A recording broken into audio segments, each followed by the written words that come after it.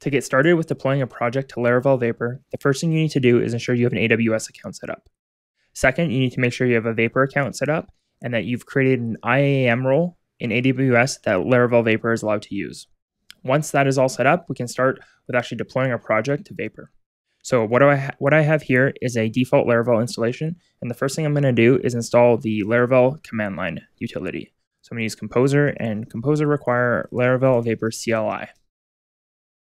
And the reason why I install this locally to my project is so that when we use continuous integration and continuous delivery, the CLI tool will be bundled with our application, so you don't need to have it running globally on your CI server. All right, now that I have the CLI installed, what I do is create an alias called Vapor and I map it to the vendor bin Vapor directory. So anytime you see me type Vapor, uh, I have an alias set up on my machine to aliases to the local vendor bin Vapor. So if you don't have the alias set up, you have to type in vendor bin Vapor anytime you see me type Vapor. So I'm going to log into Vapor to authenticate my local machine with the Vapor service. All right, I'm logged in successfully. The next thing I want to do is create a new project. So we're going to use Vapor init to create that project.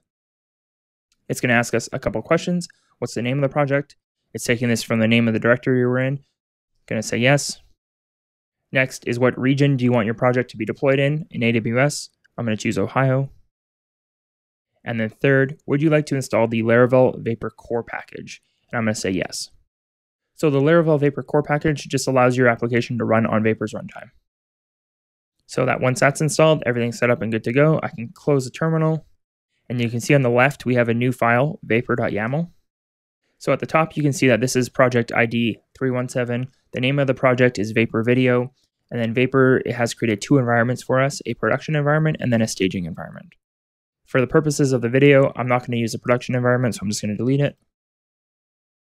And in the staging environment, you can see that for any HTTP request, uh, we're going to get 1024 megabytes of memory. And then for any CLI requests, so jobs, queues, uh, artisan commands, etc., we're going to get 512 megs of memory.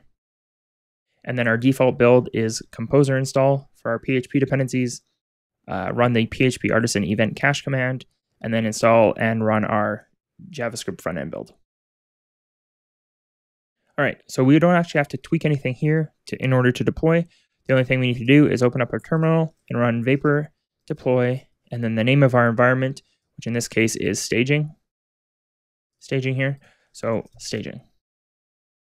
And what this will do is this will bundle up your application and send it to Amazon, so it'll put your assets on S3 and CloudFront. It'll package up your PHP code into a Lambda function. Uh, it'll set up RDS SSL certificate so you can connect to RDS if you have enabled that. Basically, it's just going to bundle up our application for us and ship it to AWS so it's ready to deploy. So while that's running, we can see here that by running the Vapor init command, we've actually sent a request to Vapor to create the project, which assigned our URLs for us, um, and everything is set up and good to go on Vapor's end. All right, so now the project has been deployed successfully. It took a minute and 42 seconds. Uh, here is our environment URL for our staging environment. So you can see uh, Vapor needs to propagate that DNS record because it's a new subdomain on their Vapor Farm URL. So this takes a couple minutes. Uh, I'll report back when it's finished. All right, so it took about four minutes, but I'm back. I've clicked on the URL from the staging environment, and we can see here that our project is up and running. We have the default Laravel installation. Good to go on our vanity URL. And that's it. That's how simple it is to deploy with Vapor. It's literally, what was that, two commands, Vapor init, Vapor deploy, done.